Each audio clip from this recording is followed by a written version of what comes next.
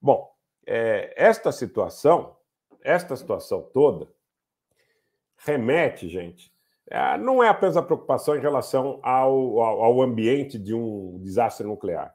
Eu já reportei aqui nos dias anteriores que você teve uma cervejaria atingida, onde foi um tanque de amônia atingido.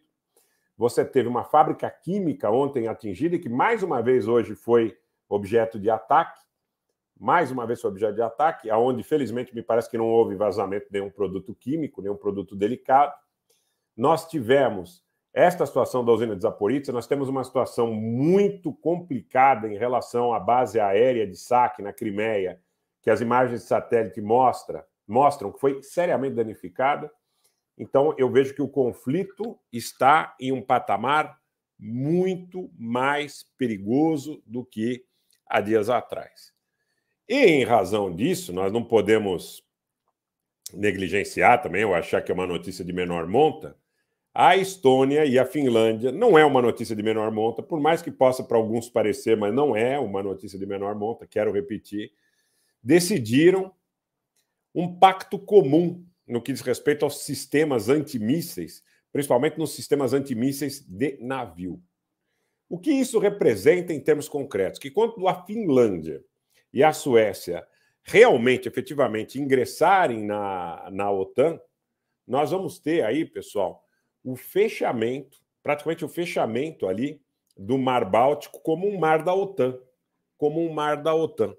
E isso me preocupa muito, porque o próprio presidente Putin ele disse que a questão da Finlândia e da Suécia na OTAN dependeria muito de quanto isso poderia representar de ameaça aos interesses da Rússia, seja em relação às armas instaladas, seja em relação a qualquer tipo de atitude proativa, também no aspecto das navegações no Báltico. Você tem a questão é, é, de, de, de, Kaliningrado, você tem, enfim, uma série de situações aí que precisam ser suscitadas, inclusive sob o ponto de vista dos interesses comerciais é, a serem é, percebidos aí na região do Mar Báltico.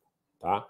Então, a, a Finlândia e a Estônia hoje assinaram um acordo aonde ficou estipulado, aí pelo menos as intenções, eu não conheço ainda a formalidade do acordo, senão o que está divulgado nas mídias, até aqui eu não vi um, um material efetivo desse acordo, mas que pretensamente fecham, fecham o mar, fecham o mar Báltico como o mar, como o mar da OTAN. Gente, vamos compartilhar, eu vou compartilhar junto com vocês. Eu tenho certeza que a gente está aqui, está em casa.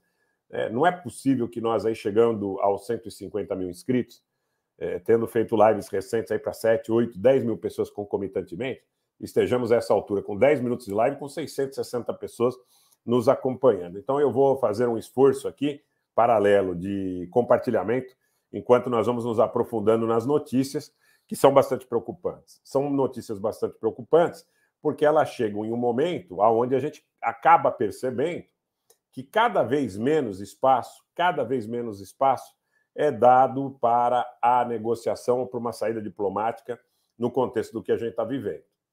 E esta situação, gente, vem junto com declarações, por exemplo, da própria liderança russa, do Medvedev, por exemplo, insistindo, tá? Insistindo que se efetivamente nós tivermos uma situação sob aspecto qualitativo, tá? Sob aspecto qualitativo de ataques que ameacem a soberania da Rússia, eu já não falo mais sobre aspecto quantitativo, porque eu acho que o exército ucraniano está muito debilitado, tá? Que as represálias dar-se-ão, dar-se-ão em relação aos centros aos centros de decisão.